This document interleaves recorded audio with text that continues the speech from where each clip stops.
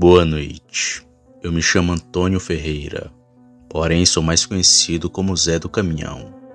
Tenho 52 anos e moro na cidade de Ipu, que fica no estado do Ceará. Gostaria de contar algo que passei em 2013, lá em São Benedito e Tianguá, ambas cidades que também ficam no Ceará. Bom, eu trabalho como caminhoneiro faz mais de 15 anos. Em tantos anos de serviço só me aconteceu uma coisa sobrenatural, que é isso que irei relatar a seguir. Foi algo tão surreal que nunca vi nada parecido. Por isso nunca comentei com alguém o que passei.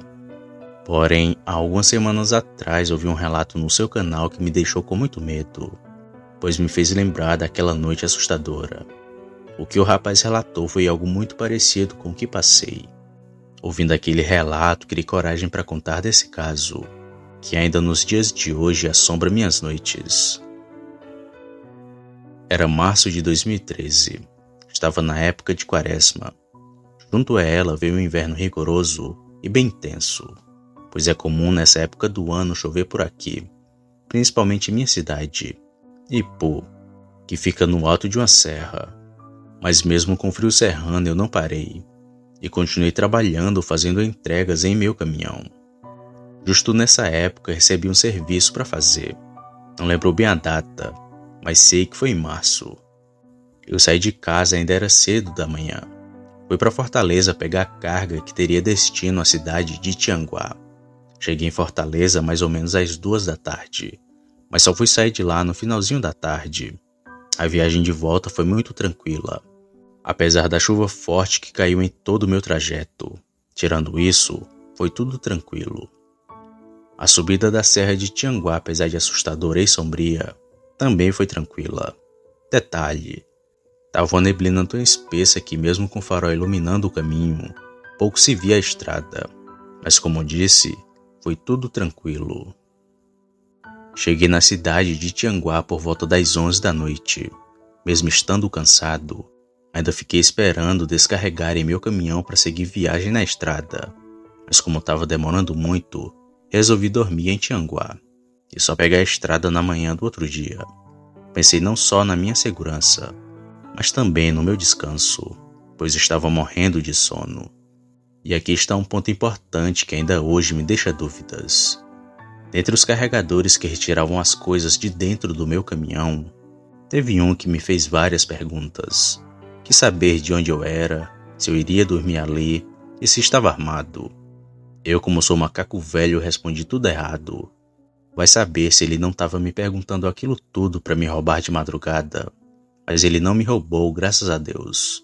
Mas fico na dúvida se ele era a coisa que apareceu para mim aquela noite. Pois bem, como respondi coisas erradas para aquele homem, saí com o caminhão e o estacionei no fim da cidade já no ponto de seguir para Ipu, lugar onde moro. Cansado como eu estava, só desliguei o motor e apaguei as luzes. Nem a cortina da cabine tirei. Depois de tudo pronto, me deitei na cama e logo dormi. Não sei que horas eram, nem estava perto de amanhecer, mas sei que dormi muito pouco, pois acordei com muitos latidos de cães, algo que eu estranhei logo de cara, pois caiu uma garoa lá fora. E como bem sabemos, cães fogem da chuva, mas por algum acaso ali perto de mim eles latiam muito. Assim que me levantei e olhei para a lateral do meu caminhão, tinha algo rodando em meio de vários cães. Aquela coisa rodava e batia nos cachorros como se estivesse brigando com eles. E os cães direto no encalço, latindo e mordendo aquela coisa. Com muito medo e querendo fugir dali, liguei meu caminhão e buzinei duas vezes na intenção de assustá-los. Foi então que o pior aconteceu. Aquela criatura se pôs de pé e ficou me encarando diretamente nos olhos, e viu quão estranho ele era. Parecia um gorila magro, mas com orelhas grandes e pernas deformadas, algo sem forma de um animal comum. Assustado e temendo pelo pior, eu fui saindo dali. Nem olhei mais para aquela criatura e segui viagem para o Bajara mas ainda com medo continuei seguindo na estrada, até chegar em São Benedito, sendo que passei por Ibiapaba, uma outra cidade. Um medo grande, pessoal. Nunca tinha visto nada como aquilo. E só quando cheguei em São Benedito que resolvi descansar e pegar a estrada logo pela manhã. Mas não importava o quanto eu tentasse, o sono não vinha de jeito nenhum. Rolava de um lado para o outro e aquele medo, angústia, me consumia naquela noite. Foi quando, pouco depois de eu ter chegado em São Benedito, já bem perto do amanhecer, que senti algo pular em cima do baú do meu caminhão. Só ouvi aquele barulho de algo pesado caindo em cima dele. Ainda caminhar com passos pesados. Coloquei a mão no revólver e fiquei pensando comigo mesmo. Aquilo me seguiu até aqui e vai fazer de tudo para poder me pegar. Mas estava ali para morrer ou para matar, e mesmo se eu morresse, um estrago faria na cara daquela coisa. Mas nada disso aconteceu, pois logo depois de caminhar sobre meu caminhão, novamente ouvi algo pular de cima dele e correr bem rápido para a mata que tinha ali. Foi quando percebi que no horizonte já estava amanhecendo. Respirei aliviado e pensei: fui salvo pela manhã. Mas mesmo assim, continuei dentro da cabine até umas 8 horas da manhã, quando vi o movimento de carros e a luz do sol. Sem olhar para trás, liguei meu caminhão e segui bem rápido para minha cidade. E desde então, nunca mais parei na Serra Grande.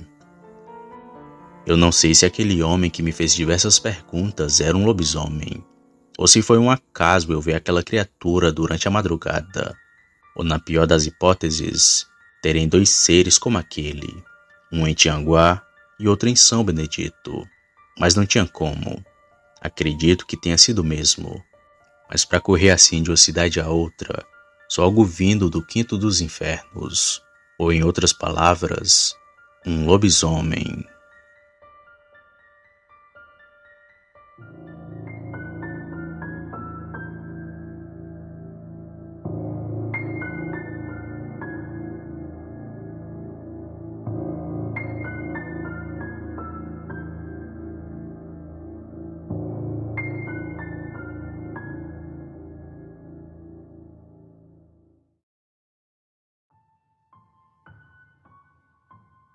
Boa noite. Sou Luiz aqui do Paraná. O relato que venho contar hoje fiquei sabendo há algum tempo atrás. Foi um morador aqui do meu bairro quem me contou. Em 1987 ainda não tinha asfalto, pois se tratava de um bairro novo. E naquele tempo era bem diferente de como é atualmente. Agora, antes de fazer qualquer casa, já pavimentam as ruas. Pois bem, no bairro já tinham poucas casas construídas. O lugar pertencia a uma fazenda, onde havia uma grande mata fechada. Ali um certo morador montou um boteco na sua casa, lugar onde todos da vizinhança frequentavam, e ficava aberto até bem tarde da noite. Tinha dia que ficava aberto até as duas da manhã. Lá o pessoal jogava truque e sinuca, e ali, como todos eram conhecidos, as horas se passavam e ninguém via o tempo passar. Pois bem, em uma certa noite de quaresma a lua estava bem clara. Parecia estar de dia. O seu Pedro, o mesmo que me contou esse relato, resolveu ir para sua casa. E detalhe, ele só gostava de jogar truco. Não bebia nenhum tipo de bebida alcoólica, só café ou refrigerante. Então seu Pedro se despediu dos amigos que continuavam no bar e foi para sua casa que ficava uns 800 metros do boteco. Tudo estava em silêncio naquela noite. Era mais ou menos uma e meia da manhã, quando seu Pedro começou a escutar ao longe no meio do mato um barulho estranho. Parecia um cavalo ou boi correndo. Desconfiado, ele não quis esperar para ver o que era, e mais que depressa apertou os passos até chegar e entrar na sua casa. O seu Pedro então apagou as luzes e ficou na janela observando o que ia passar. E não demorou muito para se ouvir os cachorros que vinham perseguindo algo desde o começo da rua. Foi quando de repente passou na frente da sua casa uma criatura estranha e medonha. Parecia um cachorro pastor alemão. A cara e as orelhas do bicho eram grandes porém a parte da frente era mais baixa que a de trás, quase igual ao corpo de uma pessoa. A diferença era nas pernas, que eram iguais a de um cachorro, com aqueles joelhos invertidos. O seu Pedro ficou aterrorizado vendo aquela cena. E o pior foi quando a criatura ficou de pé para enfrentar os cachorros. E ali perto da sua casa, ele deu um uivo parecendo um lobo. E outro detalhe: o bicho tinha uma catinga bem forte. Parecia que tinha rolado na carniça. Um fedor que dava para sentir de longe. Mas os cães eram valentes e continuavam a atacá-lo, até que a criatura resolveu fugir dali e saiu numa velocidade incrível. E logo o barulho dos cães latindo foram diminuindo. E então as coisas foram se acalmando. O seu Pedro não contou para ninguém essa história. Ficou com medo do pessoal não acreditar e zombar da cara dele. Mas no outro dia tinha um rastro do animal. Não se sabe que criatura foi essa que ele viu naquela noite. Se alguém souber, pode comentar no vídeo. Esse foi o meu relato de hoje. Espero que tenham gostado. Boa noite.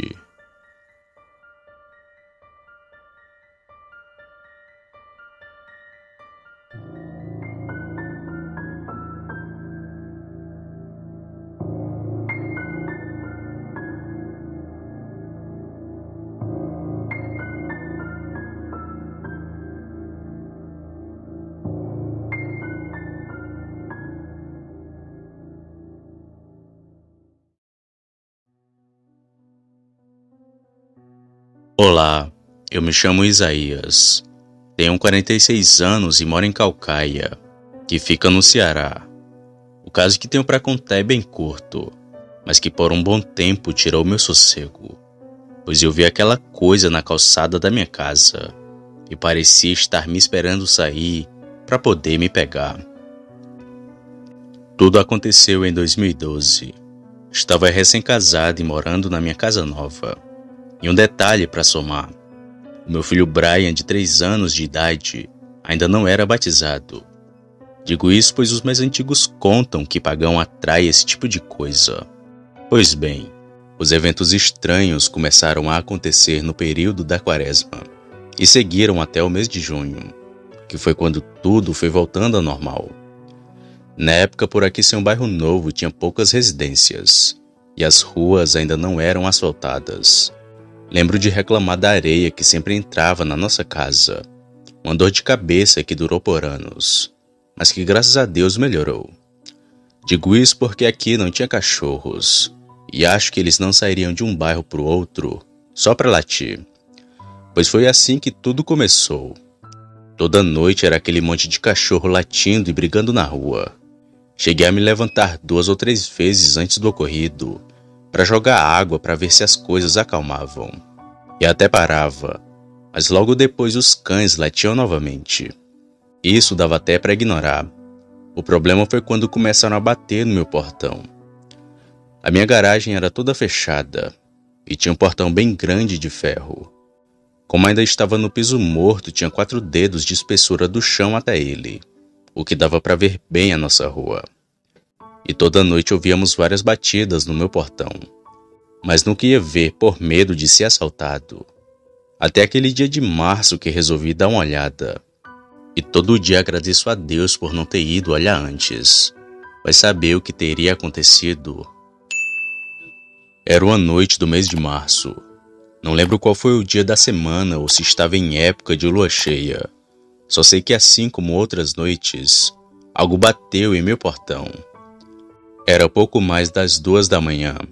Já tínhamos ouvido umas três batidas e resolvi esperar para ver quem iria bater novamente. Peguei uma cadeira e coloquei ao lado do portão. E fiquei ali esperando para ver quem aparecia. Pouco tempo depois ouvi aquela cachorrada se aproximando e logo depois parar bem em frente da minha casa. Foi nesse momento que senti o cheiro daquela coisa, que me aparentava estar molhada e que fedia fezes. E foi quando olhei por debaixo do meu portão que vi aquelas duas pernas tortas e cabeludas. Quase caí para trás com susto, pois na mesma hora eu soube. Aquilo só podia ser um lobisomem. E o medo maior foi ver que ele bateu no meu portão e ficou ali parado, como se estivesse me esperando sair para fora. E como ninguém apareceu na porta, Aquela coisa saiu correndo, sabe-se lá para onde. Meu coração estava para sair pela boca, mas fui me acalmando e raciocinando melhor aquela situação. Pouco tempo depois, aquela coisa voltou, pois novamente ouvi batidas no portão e quase que não dormi aquela noite e nem nas seguintes. Era só os cães começarem a latir que já me viam medo, pois se eles latiam, era porque o bicho estava por perto. Evito contar esse caso para conhecidos e vizinhos, pois sempre que conto, muitos duvidam ou não acreditam, e logo vêm os questionamentos. Por que não tirou uma foto? Isso é coisa da sua cabeça. Mas não é. Sempre pensava o mesmo em outras situações, mas quando acontece com você, fica difícil saber como reagir, principalmente em coisas como essas. Não é todo dia que um lobisomem vem na sua porta.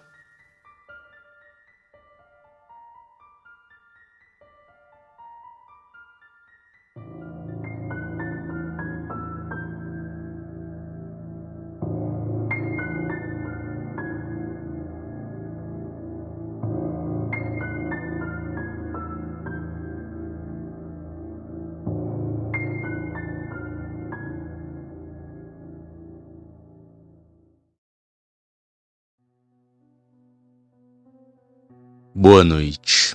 Me chamo Francisco.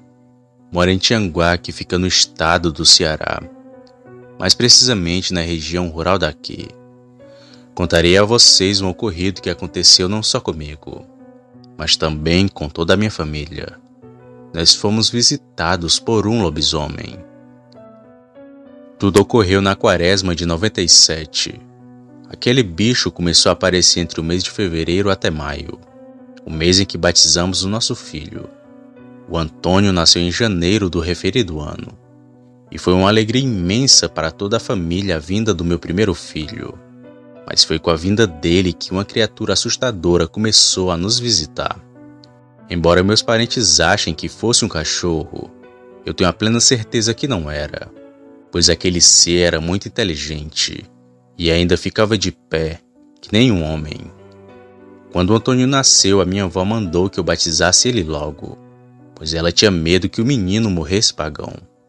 Mas eu e minha esposa decidimos esperar para que ele completasse alguns meses e só aí a gente fizesse o batismo. E foi por causa dessa decisão que tomamos que o lobisomem veio nos visitar. A minha família sempre morou na região rural daqui de Tianguá. Nós trabalhamos com a venda de frutas e carne de criação. Vendemos muita manga, banana, acerola e jaca, além da carne de porco e de gado. Onde moro é um local fechado e é meio que um grande sítio. Porém, não é só eu que moro aqui, mas meus irmãos, minhas tias e os meus primos também moram nas redondezas. Aqui é muito calmo, mas quando aquele ser começou a aparecer, eu achava que era o fim do mundo, pois temia que ele nunca mais fosse embora. A primeira aparição daquela criatura foi numa noite chuvosa. De madrugada, meu filho chorava muito, e o porquê da choradeira era cólica. Eu, sem nenhum remédio e sem nada para ajudá-lo, decidi ir até a casa do Senhor Moisés, um homem que rezava nas pessoas. Calcei uma bota por causa da lama e saí de casa atrás de um remédio com o Senhor Moisés. Demorei cerca de cinco minutos para chegar na sua casa. E lá ele me deu umas folhas de louro para fazer um chá para o menino. E novamente saí na chuva que estava muito forte. E assim que eu estava perto de chegar em casa, comecei a escutar os gritos da minha esposa pedindo socorro. Eu achando que fosse o Antônio que tivesse piorado, corri sem nem me importar com o caminho. E quando cheguei em casa, minha esposa ainda gritava muito. Bati na porta para entrar e ela não falava nada. Só depois que falei mais umas três vezes que ela abriu. O meu filho ainda chorava de dor, mas minha esposa estava aos prantos e chorando muito. Vendo aquela cena, perguntei o que tinha acontecido. E ela então seguiu falando. Pouco depois que tu saiu, ouvi batidas na porta. E pensei que fosse tu. Eu me levantei para ir até a sala, mas antes de chegar lá, escutei um cansaço forte vindo lá de fora. Ainda perguntei quem era que estava do outro lado da porta, mas ninguém respondeu. Com medo, fui para o quarto e me tranquei. Foi quando comecei a ouvir batidas fortes na porta. Tinha algo lá fora querendo entrar. Foi aí que comecei a gritar por socorro. E antes de tu aparecer, a pessoa que estava lá fora saiu correndo. Na hora me deu uma raiva. Peguei minha foice e saí doido pelo mato atrás do cabra que queria invadir minha casa. Mas só que sem sucesso. Vendo que o sujeito já estava longe dali, decidi ir para casa e esperar que o outro dia chegasse para que eu fosse atrás do culpado de toda aquela algazarra. Na manhã do outro dia eu corri os quatro cantos da onde a gente morava, mas não achei nada por onde passei já estava achando que era alguém conhecido, pois para estar tá me vigiando daquele jeito só podia ser alguém bem próximo. Só que não. O que nos visitou aquela noite não era gente, e eu descobri isso de uma forma assustadora. Foi bem no meio da quaresma que aquele bicho novamente veio nos visitar, mas ele parecia ter perdido medo da minha presença, pois ele tentou me atacar e ainda invadir minha casa. Numa noite nublada e de lua cheia, eu estava consertando uma tarrafa para poder pescar com amigos. Foi quando comecei a escutar uma movimentação fora da minha casa. Tinha alguém andando de um lado para o outro, como se quisesse invadir. Me levantei lentamente peguei minha foice. Então, silenciosamente, abri a minha porta. A neblina da noite cobria até um certo ponto, mas a claridade da lua ajudou bastante na visualização e consegui ver algo bem longe só me observando. Saí de casa e fui indo no rumo da onde aquilo estava. E chegando bem perto, percebi pela luz da lua dois olhos grandes e vermelhos. Parecia um cachorro pelo tamanho. Porém, quando fui me aproximando, parecia que a estranha criatura era enorme. E tomei um grande susto quando ela se levantou e ficou em pé que nem um homem. Eu vendo o bicho naquela posição já fiquei com o pé atrás, pois ele era muito alto e parecia ser bem forte. Percebi que não daria para enfrentar aquilo somente com a foice e fui retornando para minha casa lentamente. Mas o bicho percebeu e foi aí que ele começou a correr na minha direção. Eu também comecei a correr bem rápido para minha casa. Entrei e fechei a porta de uma vez. A criatura que vinha atrás de mim disparada se jogou na minha porta e quase que ela foi ao chão. Peguei umas madeiras e coloquei no encalço dela para que o bicho não a derrubasse, pois aquela coisa batia com muita força, tanto que achei que ele invadiria minha casa. Porém, depois de ficar uns cinco minutos batendo na porta, o bicho finalmente parou e saiu da frente da minha casa. E depois dali, não sei para onde ele foi. Então decidi olhar pela fresta da janela, e ao longe vi os mesmos olhos vermelhos, só a me observar. Não consegui dormir direito naquela noite, pois estava com medo dele conseguir invadir a minha casa. Quando amanheceu, fui até o meu pai para pedir a espingarda dele emprestado e expliquei o porquê do meu pedido. A minha avó, que escutava nossa conversa, foi e me disse: Francisco, isso daí tá acontecendo por causa do teu filho que não é batizado. É bom tu batizar o menino logo, pois esse bicho só vai parar quando o Antônio deixar de ser pagão. Esse daí que tá te visitando é o lobisomem. Minha avó me falou essas palavras com muita firmeza, e eu acreditei nela, pois só sendo um bicho desses para ser daquele tamanho.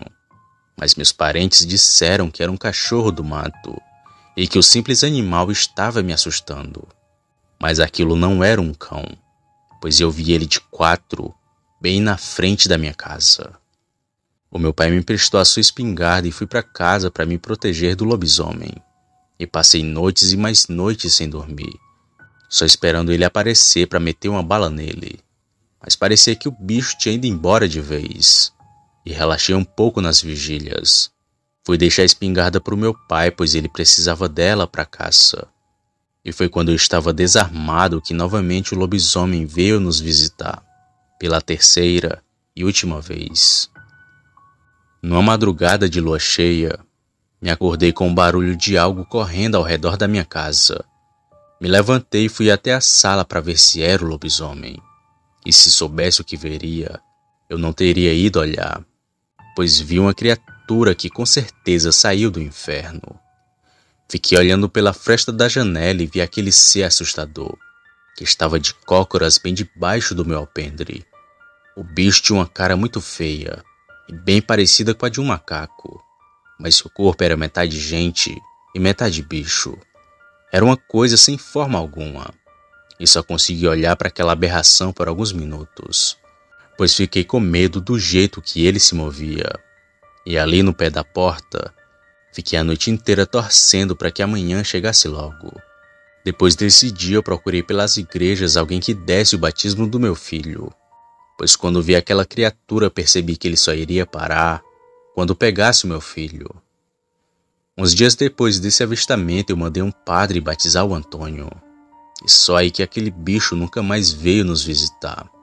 E após alguns anos, eu percebi que não era sempre que ele vinha nos visitar pois parecia que eram em noites de lua que aquela coisa se transformava. Depois dessa experiência assustadora, eu sempre batizei meus outros filhos cedo, pois eu temia que o lobisomem voltasse a nos atormentar.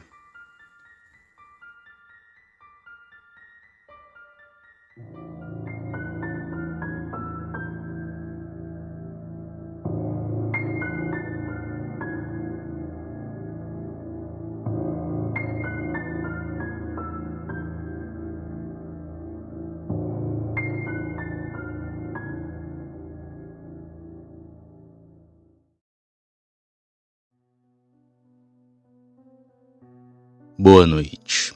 Eu me chamo Francisco. Acompanho o canal já faz mais de um ano. Porém, só agora que tive coragem para te enviar esse caso. Ou melhor, casos de lobisomem. Pois nesse único relato contarei três histórias distintas: a minha, a da minha tia e a da minha falecida avó, que, na minha humilde opinião, é a mais assustadora de todas. Atualmente moro em Calcaia, mas nasci e me criei em Monsenhor Tabosa, ambas cidades que ficam no Ceará. O meu pai era caseiro e a minha mãe lavandeira de roupas. Morávamos na propriedade onde meu pai trabalhava, lá de uma vila de casas, com mais ou menos umas 20 famílias. A vida na roça era difícil, mas quando chegava o inverno tudo mudava. O verde tomava conta do lugar assim que as chuvas caíam no sertão. Uma beleza que só quem é nordestino conhece. Mas eu era um menino malcriado. Respondia minha mãe e a desrespeitava. Muito diferente do meu pai, que só o seu olhar me deixava com medo. E por si assim eu aproveitava. Deitava e rolava quando meu pai estava fora de casa. Tinha vez que eu saía para mata e só voltava tarde da noite. A minha mãe sempre me dava conselhos, mas de nada adiantavam. Eu fazia ouvido de mercador e a ignorava. Mas tudo mudou naquela noite terrível. O ano era 1989. Com meus 15 anos já me achava dono do meu nariz e fazia tudo o que queria, escondido do meu pai, claro. Uma certa vez ele teve que ir trabalhar à noite e só voltaria para casa no outro dia pela manhã. E detalhe, era época de quaresma e estava num inverno bem rigoroso. Inclusive caiu uma garoa fina lá fora. Mas mesmo assim, saí de casa para fazer danação no mato. Nesse dia lembro que fiquei até de noite fora de casa. E não sei o que deu na minha mãe, pressentimento ou preocupação. Mas pela primeira e única vez, ela foi me buscar coisa que ela nunca tinha feito antes, e fui para casa com ela. Mas antes fiquei fazendo hora para ir. Quando chegamos em casa, minha mãe foi para a sala catar feijão, e eu fui tomar um banho para ir comer. Então, depois de tudo, fiquei na sala vendo minha mãe catar o feijão. Foi quando de repente escutei algo que me deixou com muito medo. Era como um grunhido de porco, mas que lembrava o lamento de um homem. Quando ouvi aquilo, fui para perto da minha mãe. E a coisa que estava lá fora passou pela nossa casa e seguiu o caminho. Quando perguntei à minha mãe o que era aquilo, ela disse que era besta fera e que se eu não me comportasse, ela iria me levar. Dali em diante passei a respeitar minha mãe e ter medo daquilo que ela chamava de besta fera, que na verdade era o lobisomem. Como choveu a noite toda, a terra ficou molhada, e no outro dia pude ver o rastro daquela criatura, que não só passou em frente à minha casa, mas deu a volta por ela umas três vezes. Medo era só o que eu sentia, e tive mais medo ainda quando soube da história da minha tia. Um certo dia, conversando sobre esse caso que eu e minha mãe presenciamos, a minha tia contou o seu caso. Ela disse que aconteceu quando seu primeiro filho tinha nascido. Como meu tio trabalhava fora e só chegava tarde da noite em casa, muitas das vezes minha tia teve que dormir sozinha. Até que certa vez algo apareceu em sua porta. Já passava da meia-noite a minha tia estava amamentando seu filho na rede. Foi quando o silêncio da noite foi quebrado por um uivo bem alto, mas que estava bem longe da sua casa. Mas aquilo parecia sentir a presença dela e do seu filho, e cada vez mais ia se aproximando, uivando bem alto e assustando ela e seu filho. Até que enfim a criatura chegou na sua casa, mas que não fez nada Apenas ficou lá fora correndo ao redor da casa. Às vezes soltava uivos, mas também berrava que nem um homem. A coisa mais feia do mundo, segundo a minha tia. E o bicho passou a noite assim, até ir embora perto do amanhecer. Disseram que era um lobisomem e que ele estava sentindo que o menino era recém-nascido, mas que não fez nada temendo que tivesse homem dentro de casa. O susto foi tanto que minha tia passou resguardo na casa da minha avó, que na ocasião estava com a gente contando histórias. E ela disse uma de dois irmãos que virava bicho aqui no Ceará. Isso mesmo, dois lobisomens. Minha avó falou que trabalhava fazendo rapadura com meu avô e que, numa certa vez, foram atacados por duas criaturas da noite. Após um dia árduo de trabalho, o meu avô e minha avó foram de bicicleta para a missa, que naquele tempo começava às nove e só terminava às onze da noite. E por conta disso eles já vinham bem tarde para casa. Era perto da meia-noite. O meu avô trazia a minha avó na garupa de sua bicicleta, mas que em determinado ponto do caminho ele parou, pediu para minha avó descer e mandou que ela ficasse atrás dele. E nem foi preciso explicar o porquê de fazer isso, pois dava para ouvir o roncado e grunhido de algo lá na frente. Minha avó disse que ficou atrás do meu avô, que estava pronto para acertar um golpe de facão no lobisomem. Foi quando ela percebeu vindo por trás deles outra criatura. Dois lobisomens iam atacar meus avós. Os bichos deram investidas, pularam e ainda agarraram o vestido da minha avó mas nenhum dos dois chegou a atacá-los de fato. Apenas os rodeavam fazendo grunhidos e roncados assustadores. Atentos eles foram seguindo para casa. E os bichos foram junto. Era como se quisessem saber onde era a casa dos meus avós. Ao chegar em casa, eles entraram bem rápido. Os dois lobisomens continuaram lá fora, arranhando, grunhindo e fazendo sons esquisitos. Minha avó disse que ficou apavorada, pois tinha criança pequena dentro de casa e temia pela segurança dos seus filhos. Mas por Deus, aquela foi a primeira e única vez que eles viram os dois lobisomens. Com o passar dos anos conversando com um amigo do trabalho, meu avô soube de uma história de uma cidade vizinha. Segundo esse amigo, um casal havia tido dois filhos, um menino e uma menina, que cresceram brincando juntos. Porém, por viverem isolados e longe de qualquer pessoa, os dois passaram a namorar. Os pais acharam absurdo e expulsaram os dois de casa, que não se importaram e continuaram juntos se amando. E dessa relação entre os dois, nasceram duas crianças, uma mais horrível que a outra.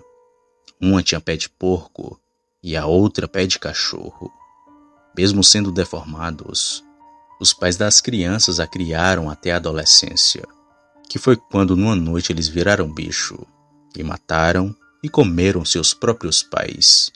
E daí então se criou a lenda dos irmãos que virava bicho.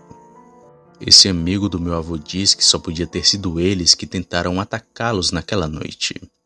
E ainda diz para ele ter muito cuidado, pois um dia eles poderiam voltar.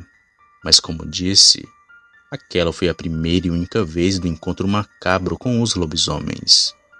Sei que muitos ouvintes não vão acreditar nessas histórias, e nem cobro de vocês nada, pois só quem passou por algo parecido sabe o quão irreal e estranho é o sobrenatural. Muito obrigado pelo espaço no canal para contar meus relatos, Sam, que apesar dos anos, ainda me causam grandes arrepios.